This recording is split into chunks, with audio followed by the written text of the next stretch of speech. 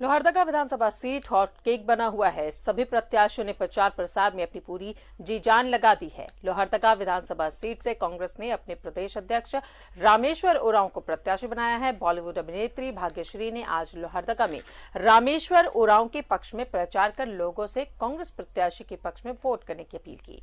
इस मौके पर सीने तारिका को देखने के लिए लोगों की भारी भीड़ उमड़ी।